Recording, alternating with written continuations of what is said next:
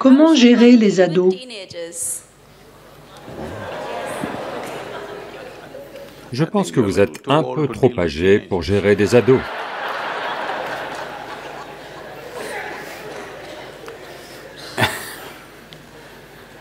Voyez,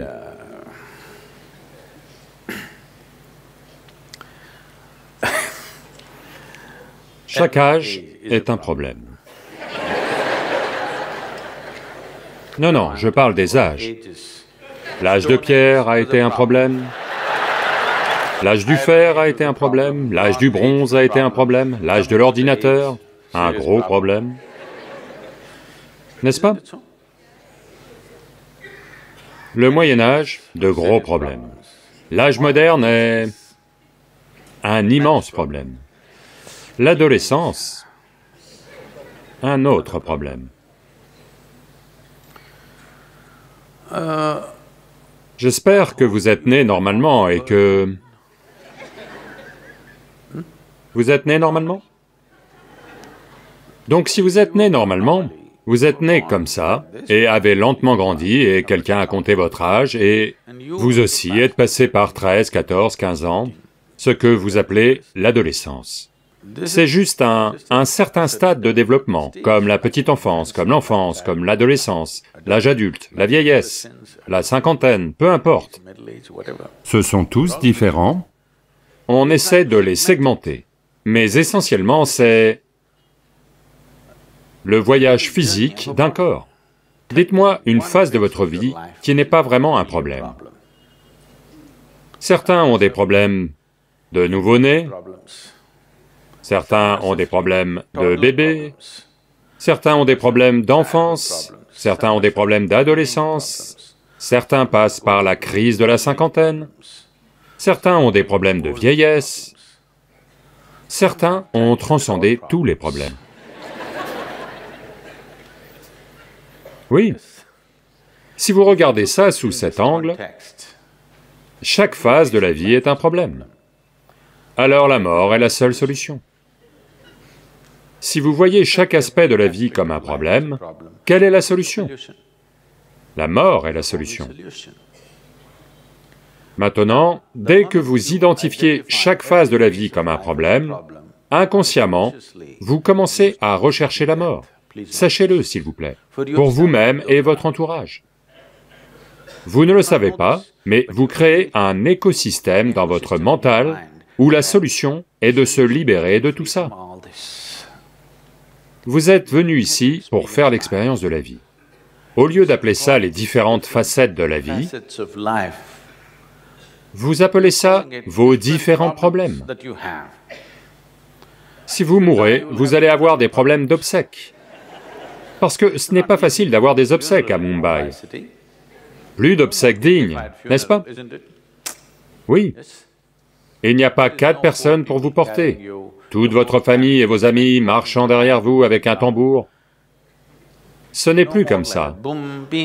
Coincé dans les bouchons, même mort, vous êtes coincé dans les bouchons.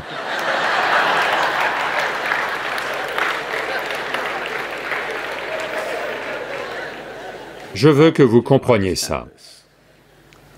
Il y a divers types de situations dans votre vie. Ce sont juste des situations. Certaines, vous savez comment les gérer. Certaines, vous devez encore apprendre à les gérer. Ce que vous ne savez pas gérer, vous appelez ça un problème. Dès que vous appelez quelque chose un problème, dès que vous identifiez une situation, c'est une situation simple. Comme vous ne vous êtes pas équipé pour gérer la situation, vous appelez ça un problème. Dès que vous appelez ça un problème, le désagrément est une conséquence naturelle de cela. Vos enfants grandissent, ça devrait être un moment joyeux. Oui, ils deviennent adolescents, ça veut dire qu'ils grandissent rapidement. Oui.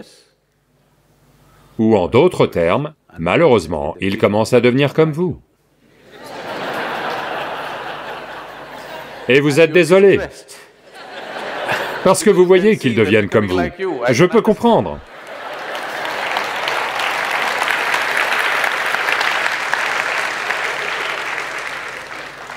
Non, Sadhguru, ce n'est pas ça le problème. il commence à devenir autre chose, il ne ressemble même plus à mes enfants. On a... on a fait l'éloge, on a malheureusement fait l'éloge d'étapes impuissantes de la vie. Si vous parlez de petite enfance et d'enfance, ce dont vous parlez, c'est d'une certaine phase de notre vie où l'on est assez impuissant. Sans aide extérieure, on ne peut pas survivre ou être quoi que ce soit. Donc on a fait l'éloge de cela. Même les soi-disant enseignants spirituels répètent sans cesse, saying, « Je suis un enfant ». Je n'ai pas envie de rencontrer un adulte qui soit un enfant. C'est une autre façon de dire « je suis retardé ».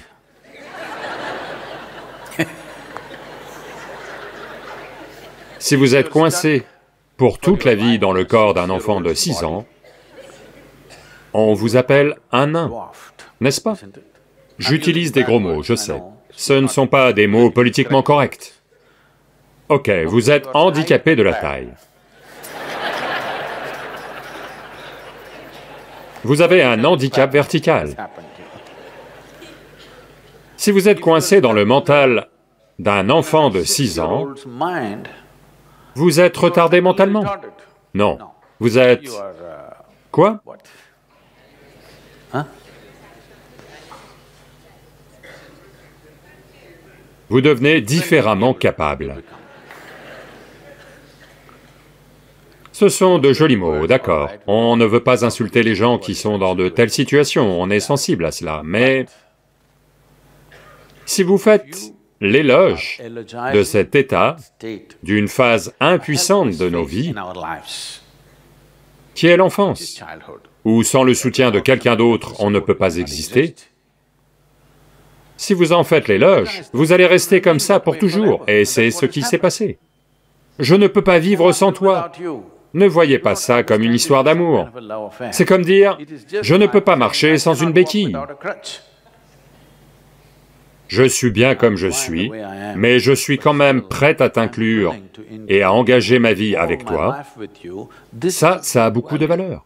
Je ne peux pas vivre sans toi n'a aucune grande valeur.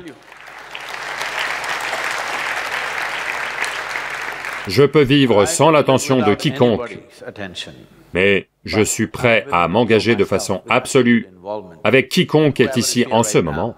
Ça, ça a de la valeur. Comme vous faites l'éloge de l'impuissance ou des phases impuissantes de notre vie, quand vous étiez bébé, vous ne pouviez même pas faire pipi par vous-même, quelqu'un devait vous emmener. Ce que je dis, c'est que je suis comme un enfant veut dire que je me demande où sont les couches. S'il vous plaît, donnez-lui en une, vous savez Non. Maintenant, ce qui se passe avec ce qu'on appelle l'adolescence, c'est que vous vous êtes habitué à ce que votre enfant soit une créature impuissante. Maintenant, s'il trouve ses propres marques, ça ne vous plaît pas. Vous voulez le réduire. Vous faites ce qu'il vous faut, c'est un jouet ou une poupée pour jouer, ou peut-être un chien. Un couple hésitait, n'arrivant pas à se décider à avoir des enfants ou non. Le débat entre le mari et la femme, c'était que le mari veut avoir des enfants, la femme dit « ce n'est pas nécessaire, on peut prendre un chien à la place ». Comme ils n'arrivent pas à se décider, ils vont voir un conseiller conjugal. Donc ils disent, on n'arrive pas à se décider à soit avoir des enfants, soit prendre un chien. Que faire? Alors le conseiller conjugal dit, c'est très simple. Voulez-vous ruiner vos tapis ou votre vie? C'est à vous de voir.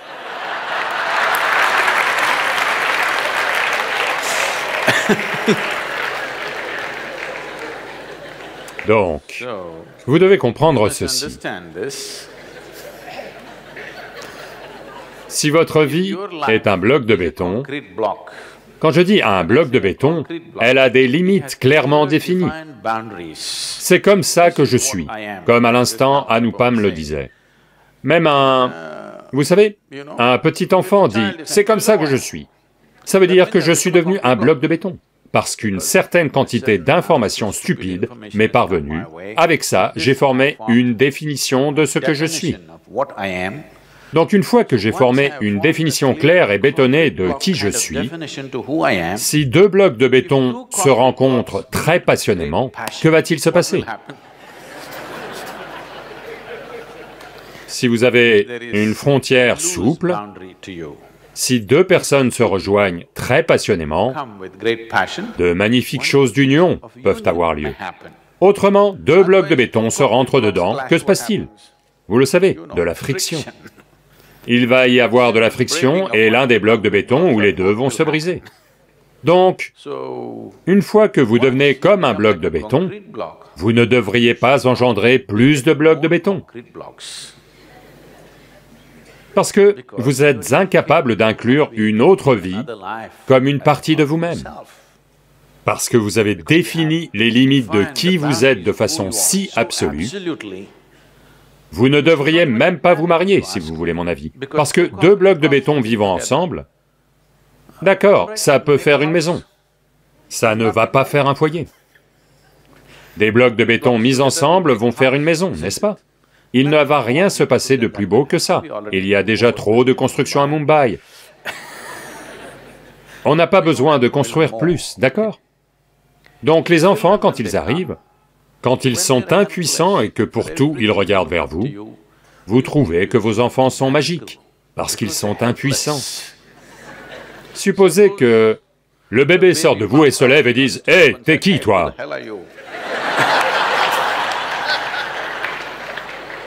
Vous n'allez pas aimer ce bébé. Mais il lui faut 14, 15 ans pour poser cette question.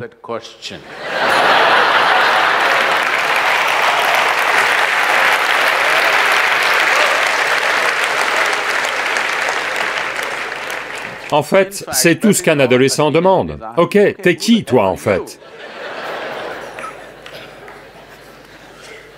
Donc, si vous voulez être quelqu'un, pour cette nouvelle vie qui est arrivée, vous ne devez pas avoir défini les limites de qui vous êtes.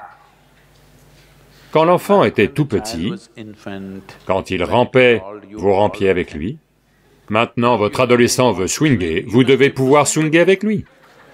Non, vous voulez encore ramper avec lui. Ça ne l'intéresse pas. Il commence à se dire, les parents paraissent ridicules aux yeux de l'adolescence. Oui ou non? Vos parents ne paraissaient-ils pas ridicules à vos yeux? À moins que vous n'ayez été vieux dès vos 12 ans. Si vous étiez jeune et plein d'énergie, vos parents paraissaient ridicules, parce que ils pensent qu'il faut encore ramper avec vous, et vous faire tchou tchou tchou, mou mou mou, pou pou pou. Tous les jours, la vie change en vous, parce que vous grandissez rapidement. Et ces idiots autour de vous n'arrivent pas à le comprendre. Qui que ce soit. En général, les grands-parents deviennent un peu plus attachants que les parents parce qu'ils ont un regard un peu lointain. Vous savez? Un regard un peu lointain parce que l'adolescence, ça veut dire que vous êtes lentement empoisonné par vos hormones. La vieillesse, ça veut dire que vous êtes délivré de cela. Donc, en quelque sorte, ils comprennent.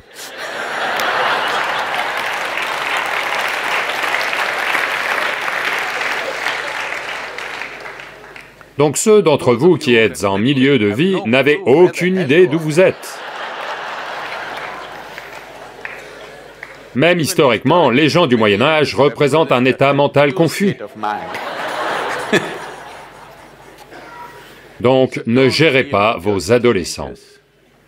Veuillez, rendez-vous disponibles pour être gérés par eux. Rendez-les responsables de tout.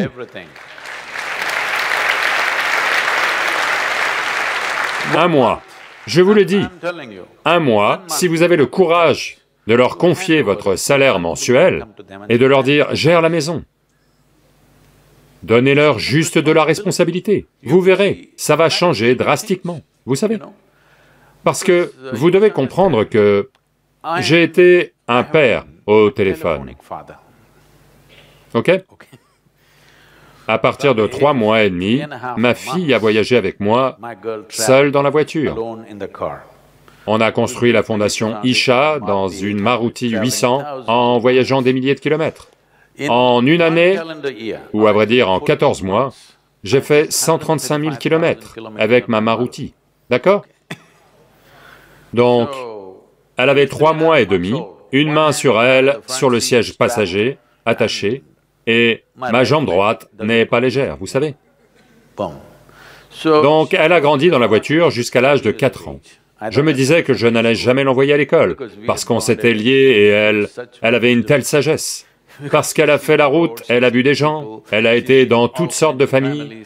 Je me disais, je ne dois pas gâcher ça en l'envoyant à l'école. Mais vous savez, ce groupe d'âge, cette compagnie, à moins d'avoir toute une équipe d'enfants chez vous, un seul enfant, ça ne marche pas, de le faire rester seul parce qu'il pourrait devenir trop vieux quand il est jeune. Donc, je l'ai mise à l'école après ça. Après ça, elle passe constamment d'un endroit à un autre et... uh, Mais on est resté très activement impliqués, grâce au téléphone portable. Avant, c'était le téléphone noir, je m'arrêtais quelque part sur l'autoroute parce que je savais que ce n'était qu'à une certaine heure qu'on peut l'appeler, à l'école, parce que l'école n'ouvre ce créneau téléphonique que pendant une heure. Donc je suis quelque part sur une route, je trouve ce téléphone noir et pendant toute cette heure, je suis au téléphone avec elle. De son côté, à l'extérieur, tous les enfants lui crient dessus. Ici, à la cabine, tous les gens frappent sur la cabine. J'avais toujours ça à cette époque. Je conduis sur la route, j'ai beaucoup, beaucoup d'appels téléphoniques à faire, locaux, internationaux, toutes sortes. En premier, je descends et vais voir ce type de la cabine téléphonique et je lui donne 5000 roupies. Il est surpris, je lui dis, gardez-le. Un acompte. Et j'entre dans la cabine téléphonique, et maintenant je suis un client estimé. Les autres arrivent, et ils veulent passer un appel de trois minutes. Et ils font tous la queue, et me font des grimaces en gesticulant. Mais le type dit, non, ne le dérangez pas.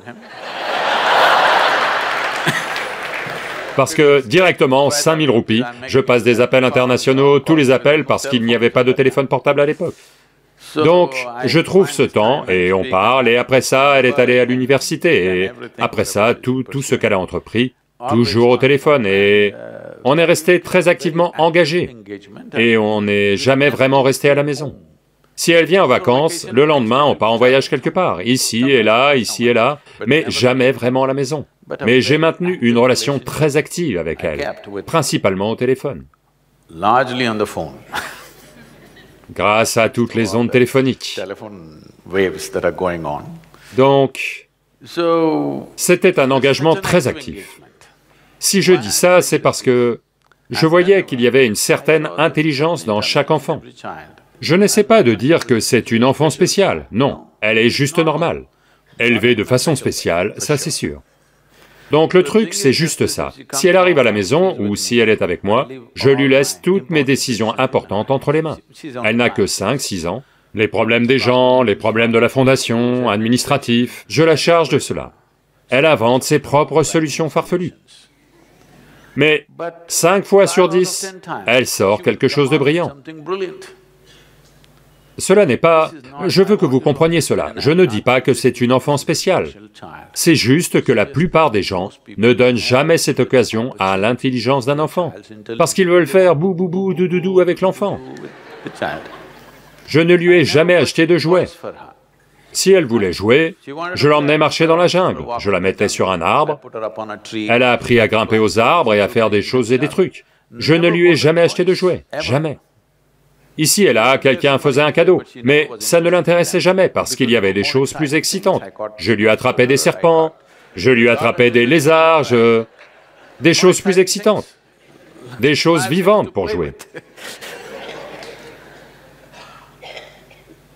Vous, si vous voulez vraiment faire quelque chose avec vos enfants, vous devez leur permettre de se déployer, parce que c'est tout ce qu'ils essaient de faire.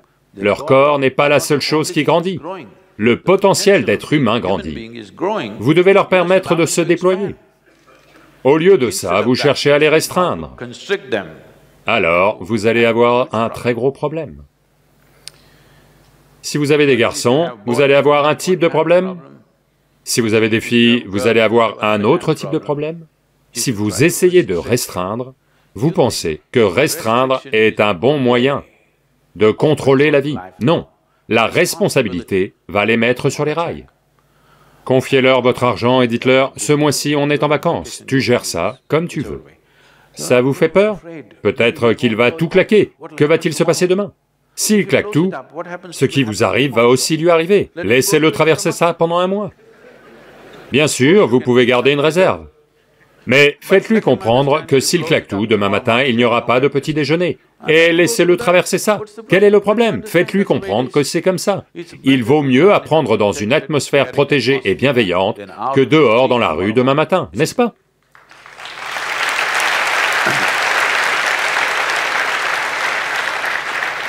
Et par-dessus tout, par-dessus tout, laissez tomber cette fichue chose que vos enfants vous appartiennent. Si vous pensez que votre enfant vous appartient, quand il entre dans l'adolescence, il vous dit, « Bon sang, je ne t'appartiens pas ». C'est tout ce qu'ils essaient de vous dire, que vous n'êtes pas capable de digérer. Une autre vie ne vous appartient pas. Si une autre vie a choisi d'être avec vous, s'il vous plaît, chérissez cela. C'est une très grande chose.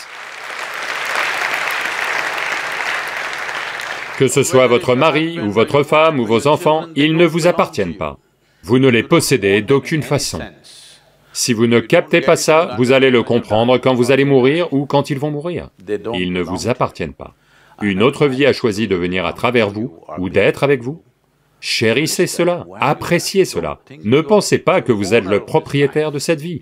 Vous ne l'êtes pas. Donc si vous croyez que vous êtes le propriétaire de votre vie, un adolescent commence à faire ses propres déclarations. Eh bien, je ne suis pas ta propriété. C'est tout ce qu'il vous dit, c'est tout, dans son propre langage. Oui ou non? Il vous dit juste, je ne t'appartiens pas. Mais est-ce qu'il, comme tout être humain, pensez-vous qu'ils ne veulent pas être inclus? Ils veulent à coup sûr être inclus.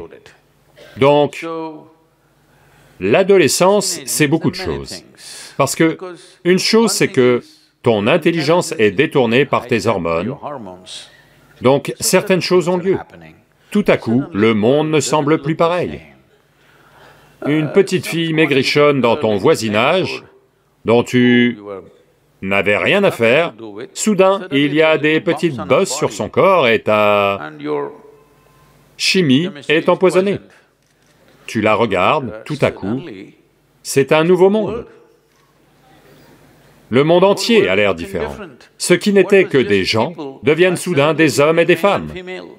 Ce n'est pas un petit changement, vous savez.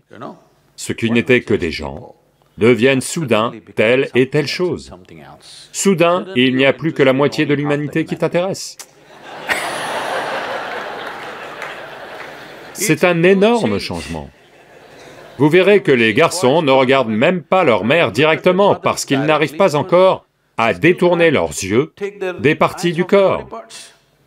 Vous devez comprendre ça, que c'est nouveau et qu'ils essaient de faire avec. Si vous étiez un bon ami, s'ils avaient des problèmes, s'ils avaient des difficultés, ils vous en parleraient. Comme la plupart des parents ne sont pas de bons amis, ils se font d'autres amis et ses amis leur donnent leurs propres conseils farfelus, parce qu'eux aussi sont dans le même état.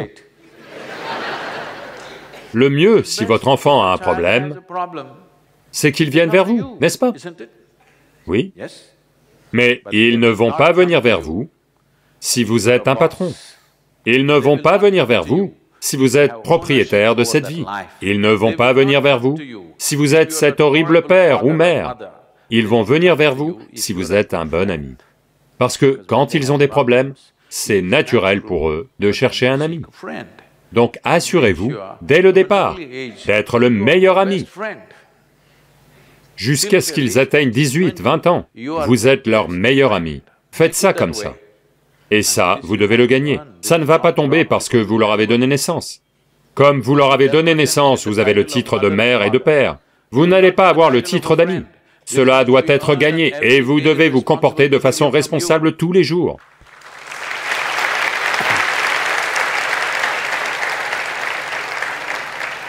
Je ne veux pas être trop dur avec vous. Nous allons en rester là.